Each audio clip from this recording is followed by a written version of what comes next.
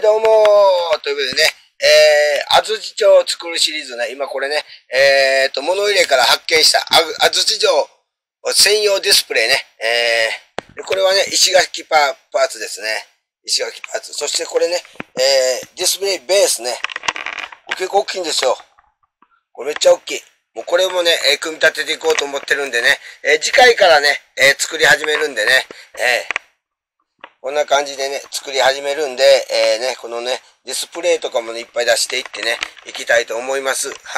まあ、そんな感じでございますけどね、はい。もうこのパーツもね、こうやってね、こうやってね、ちょっとオープンしたらね、えちょっとたくさんのね、たくさんの、おっとっと倒れそう。俺が倒れそう。もうこんな石垣のこうパーツが入ってるんでね、石垣の。石垣のね、パーツが入ってるんですよ、こうやって。これをね、組み立てていこうと思ってます。ね、かかっこいいですよ。もうこういうの、こうも、こういう感じね。はい。で、この安土城はね、半分にパカーンと分かれるんですよ。これ下の方があるんですけども。両方で左右でこう階段のね、ここずーっと上がっていくみたいな感じなんですけどもね。えー、こういう感じでね、やっていきたいと思うんでね。ぜひともね、安土城ね、よろしくお願いします。それでは皆さんごきげんよう。またね。